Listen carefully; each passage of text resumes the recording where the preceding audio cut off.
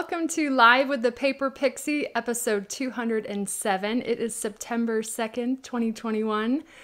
I'm coming to you live from Alpharetta, Georgia. I'm Julie DiMatteo from thepaperpixie.com. And as you're rolling on in, say hello and where you're watching from. I'll say hi to a few of you. Hi, Amy. Hi, Karen. Hi, Lynn, Lucy, Tara, Mulan, Sharon. Oh, you guys are awesome. Hi, Linda, Michelle, Connie, Alicia, welcome. Thank you for your patience. I had to reschedule last night. We had, um, it was not hurricane related. We actually had a power outage yesterday morning. Um, I, we think from construction in the area. And the power came back about, I don't know, an hour, hour and a half later, but it fried our internet box. The fiber coming into the house, that box. it didn't it couldn't get power anymore. So anyways, the technician came out in plenty of time for my live stream, but then his system went down, so he couldn't activate it and I just had to make the call. But we are good tonight. We've got internet back. Um, we, I've got two fun folds for you tonight, and I'm going to jump into it just momentarily. I've got a couple of housekeeping items because it's a new month.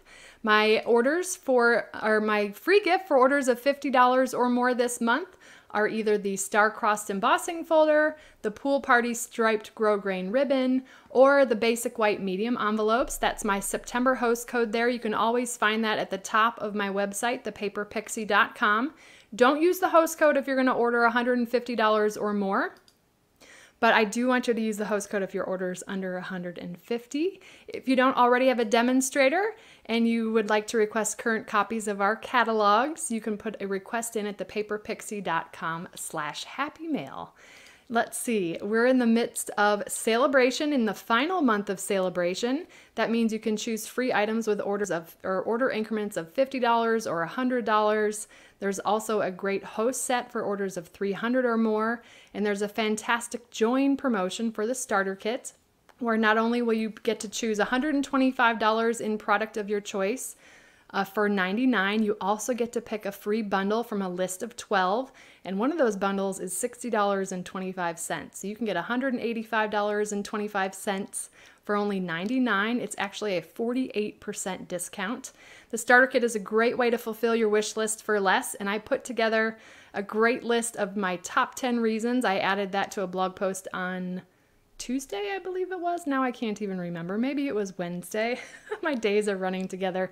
I'm actually on vacation for the long weekend until Tuesday, so a little bit of vacation brain today. Um, reach out if you have any questions, and then we are going to focus on the gingerbread and peppermint suite tonight. I've got two fun folds for you. So I'm going to go ahead and flip the camera here. And let's do that. Turn on the picture in picture. I want to show you really quickly where this is in the mini catalog. My husband Brian is here watching for your, your questions. He'll pop your questions up on the screen for me. I'm grateful that he's here. So the gingerbread and peppermint suite is on pages 8 and 9 in the mini catalog. And we're going to be focused, we're going to be using the ginger frosted gingerbread bundle. So it comes with the frosted gingerbread stamp set I love this one. And the gingerbread dies, you can get these two together at a 10% discount. And then we'll be using the gingerbread and peppermint designer series paper. This is a six by six inch pack of paper. You get 48 sheets. Love the patterns on here. And many of the sheets coordinate with the dies that makes it really easy to cut out shapes. So I've got some easy cards tonight. One of them's gonna look complicated, but I promise you it's not. I have pixie-fied it, as you know that I love to do.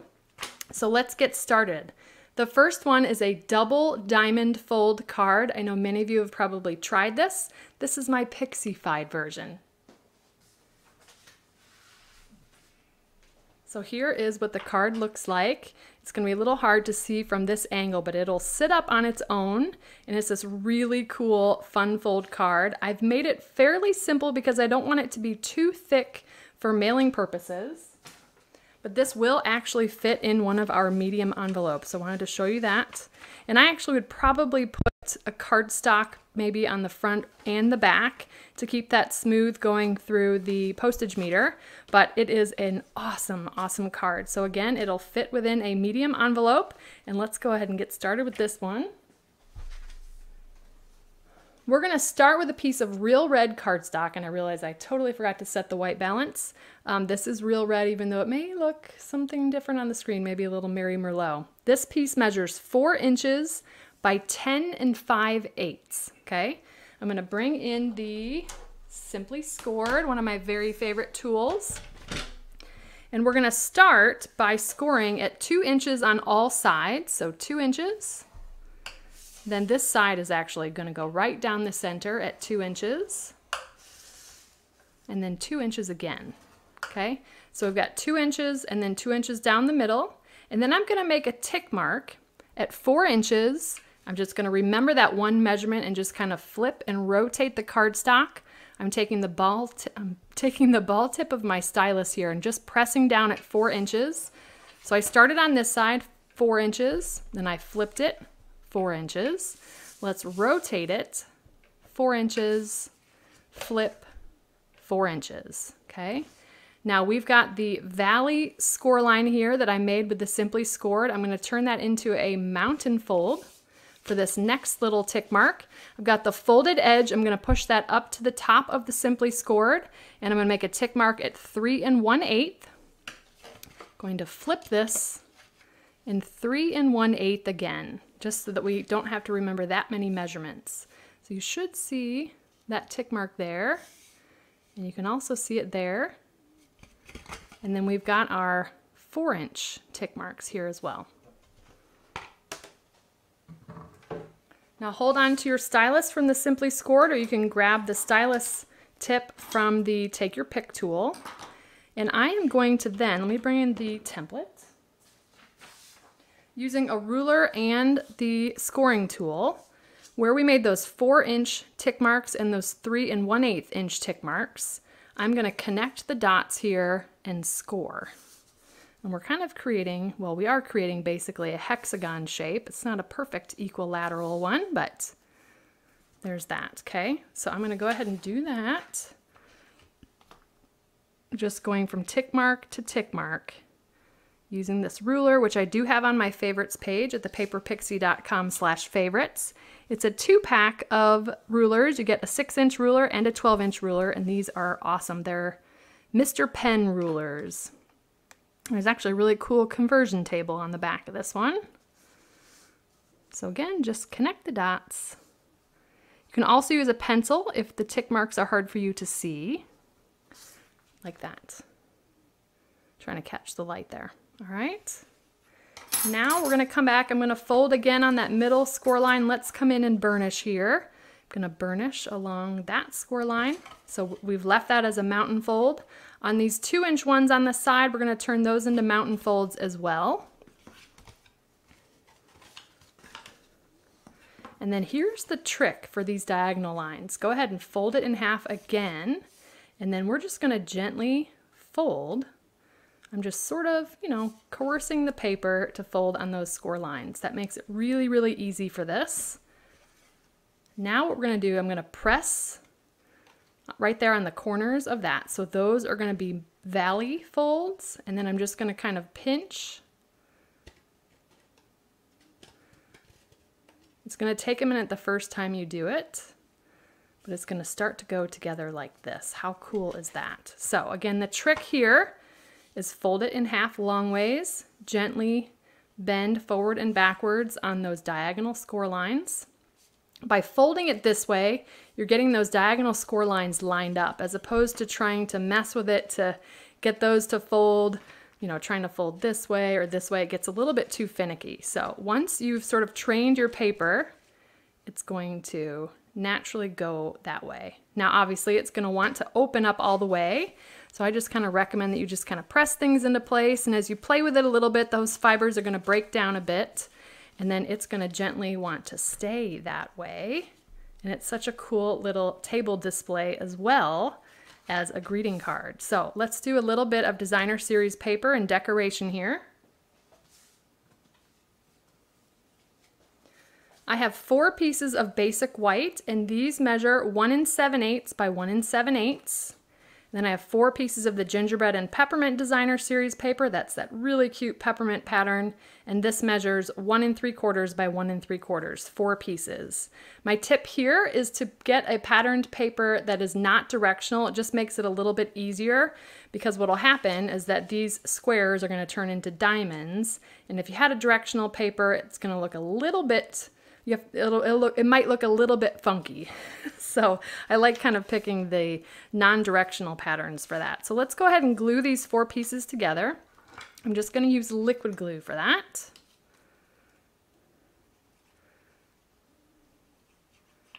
It's always hard to put glue on one side of this beautiful double-sided paper, isn't it? So this will give us a nice little pop of white I love that pop against the real red. And if you wanted to conserve paper, you could just do two of these instead of four of these. But we'll take it up a notch and do all four.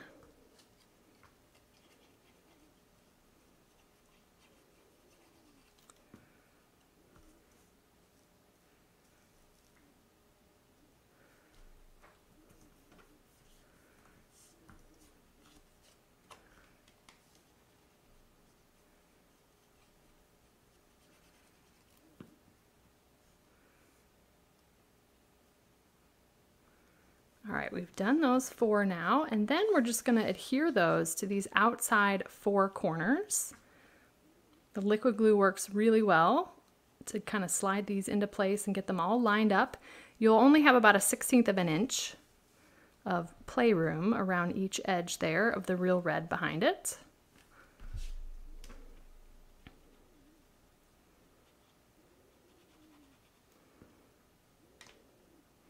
But this would be a really cool card for um, table, uh, like a table marker. I, I can't, can't, even think of the word. Is what is the word? A place setting. oh, a table card, a place setting. This would be really cool for a wedding too. Um, but also great for just sending some cheer through the mail, and the recipient can proudly display your card.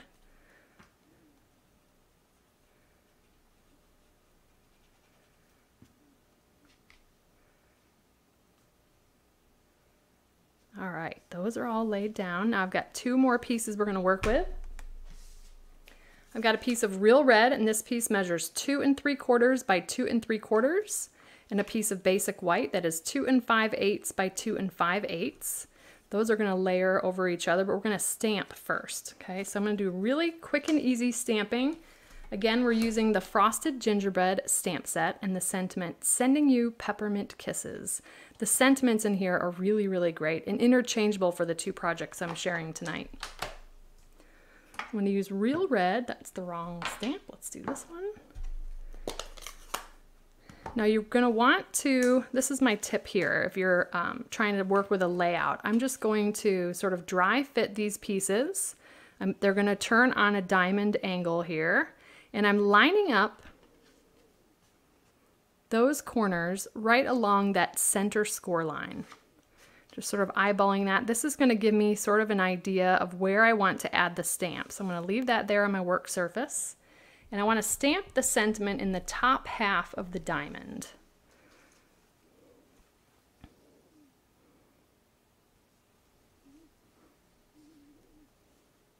There we go. And then we're going to do a couple of peppermint swirls here.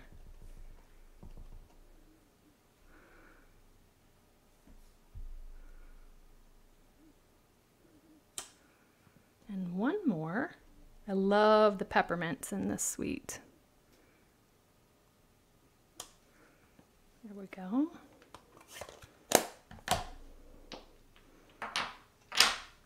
All right, let's go ahead and glue these together the white to the red.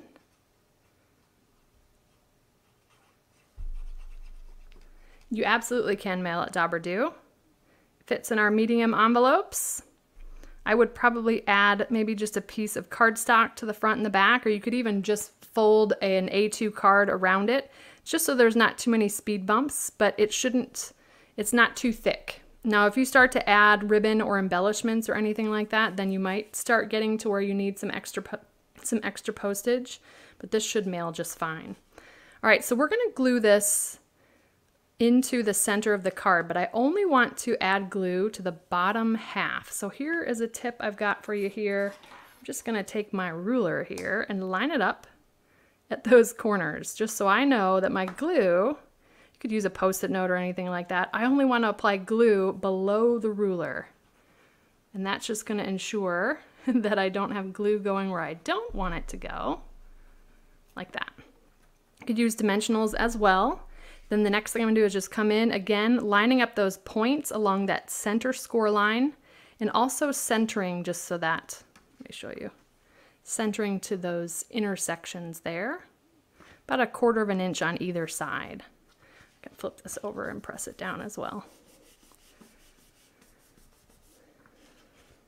All right, so that is the basics of the card. Again, it's gonna fold like that and I absolutely love it. So you can see the sentiment when it's folded in the envelope and you'll also be able to see it and the peppermints um, when the card is on display. Now again, once it's folded and you can put something heavy on it or you can leave it in the envelope, it's gonna start to be more comfortable laying a little bit more flat, but ultimately it will display. I love this. Now, if you're wondering where you can write your little note to the recipient, there's a couple things you could do. You could either write on the back side here, or if you fold this along the center line, you could write something here as well. I didn't adhere any basic white to this for writing uh, a little note because it's going to be a little complicated. You couldn't put like another diamond piece on the back because that just wouldn't work with the way that this folds. But there's a couple different ways. So again, you could fold it this way and write your sentiment here or fold it this way and write it. You have a lot more space that way. So there is our double diamond fold Pixified. Hopefully I showed you some tips or tricks and you won't find this too daunting if you haven't tried it already but I absolutely love this fancy fold. So there's that, the double diamond fold.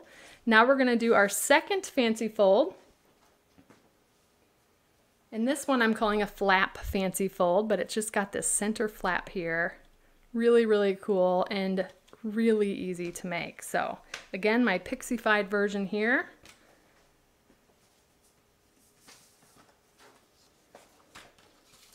We are starting with a piece of thick basic white. This is five and a half by eight and a half, scored in the center at four and a quarter.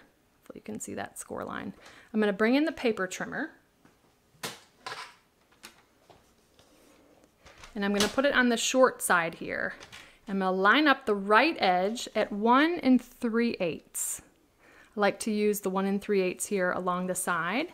And I'm gonna slide my cutter down to four and a quarter because I only want to cut from that center score line up. Okay. So like that, we've only cut down to that middle score line.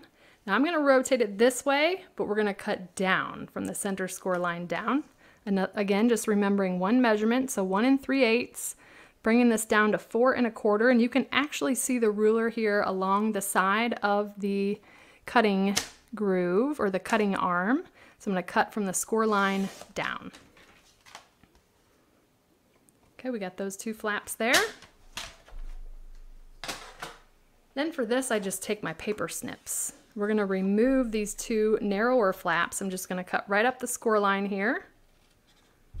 And you can save these scraps for um, adding sentiments, add them to your scrap stash. You can always use small pieces of basic white. So then we got a piece that looks like this, and I did have a template for you, just so you could picture what it looked like.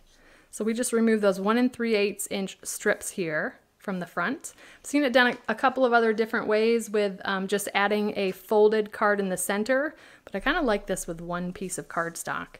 So now I'm just gonna fold right there on the score line. And I'm gonna make sure that that's lined up really well there before I come in and burnish. Those are the basic mechanics of that. Now I've got two pieces of that. I wanted it to be the gingerbread pattern, but I love this little plaid pattern with sort of that gingerbread background. These pieces measure uh, one and a quarter inches by four inches. And I'm just gonna put liquid glue on those.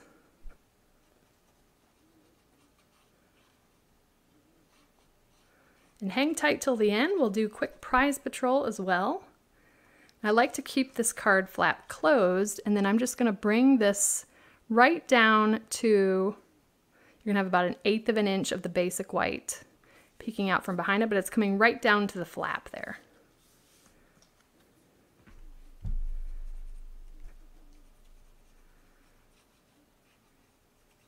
I'm getting to the end of my glue bottle again. Seems to always be on my live nights. Love the liquid glue though, because I can get that right into place. Then I've got a fun strip of the Gingerbread and Peppermint Designer Series paper. This is one inch by four and a quarter, and I'm gonna adhere that to the bottom of the flap here.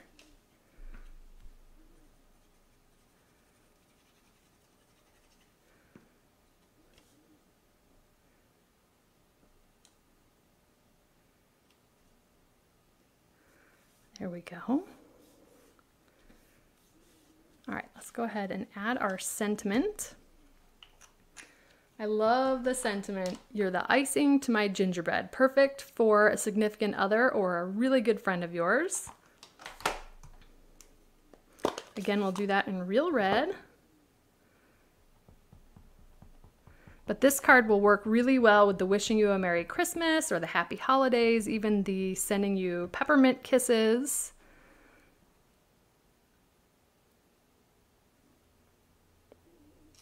There we go. And then to save some time, I've already die cut from one of our papers. This is the pattern from the gingerbread and peppermint. And I just grabbed from the gingerbread dies this die and I love how quick and easy it is to come in and die cut those shapes right from the designer series papers. It's just like a little iced gingerbread cookie there.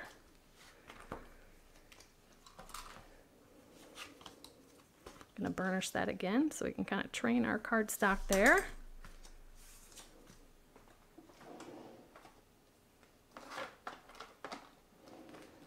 Grabbing a trio of dimensionals here.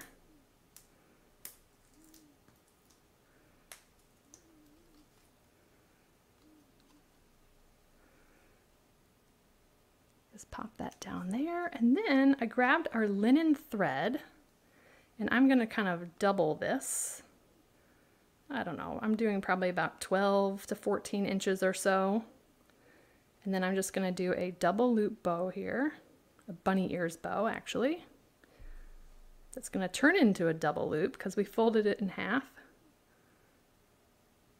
Let's see if I did that right. I think so.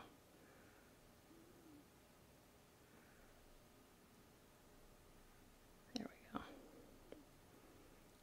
Just kind of judging those loops because I don't want it to be too big. Do I ever use the black mat? I'm not sure which black mat you're referring to, Sue. Are you referring to the one that's from the Stamparatus, maybe? I typically always use these desk pads of mine because they are um, neoprenes. They've got a little bit of give for stamping. Um, but yeah, leave a comment. Brian I'll watch for your for your reply. I'm not sure which black mat you're referring to. Could just be my vacation brain. grabbing my scissors here, and then we've got that cute double loop bow. I'm gonna grab a glue dot and I'm kind of gonna roll it onto itself, a burrito roll I like to call it, and then we'll stick the linen thread bow right to that. And we'll add that to our little ornament gingerbread cookie. And then the final one, you guys, I have two rhinestones left. I had to place an order for like five more packs. oh, the, the oh the gray mat, the paper piercing mat. I don't typically use it only because again I usually I've got a, this desk pad here and back there, but um, the piercing mat is fantastic for stamping on. I just don't need it with um, my desk pad for my live streams, but great question. And then I just added a rhinestone just to add a little bit of bling to that. And there is our flap fancy fold using one half sheet of cardstock. Got a couple of extra pieces we can use for sentiments.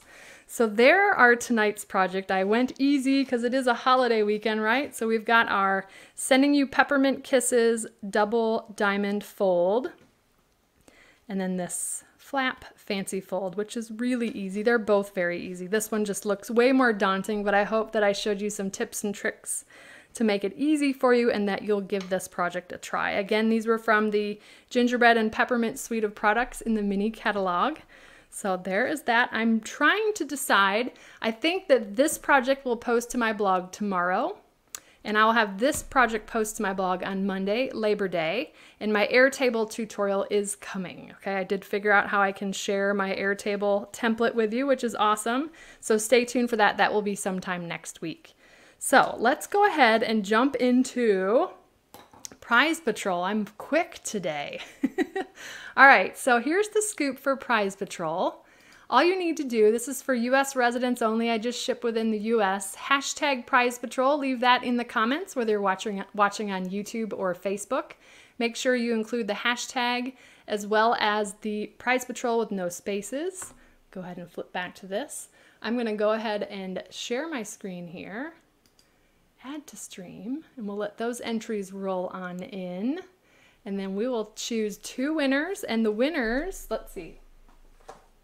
Why I always forgot forget to tell you this, is the Positive Thoughts stamp set. One of my favorite stamp sets, and I think we can all use positive thoughts right now. I hope this is a bit of a respite from all that's going on in the world tonight, whether it be lockdowns or hurricanes or fires, all of that stuff. So positive thoughts, right? All right, so here's the scoop. I'm going to draw two winners and then I will let you know how to claim that prize patrol. Let's see how we're doing with entries rolling on in. All right, I think I'm gonna go ahead and draw our first winner. You can still enter even while this winner is being chosen.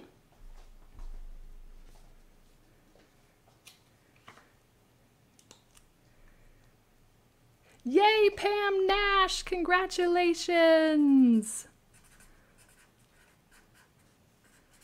Awesome. Yay, yay, yay. All right. Pam, let me put up on the screen really quickly how you can claim your prize patrol. Go ahead and go to the paperpixie.com slash prize patrol. Congratulations. And let's go for winner number two here. I really appreciate you guys joining me live. I'm live every Wednesday at 8 p.m. Eastern Time, except for sometimes I have to reschedule. Yay, Denise Kane! Winner, winner!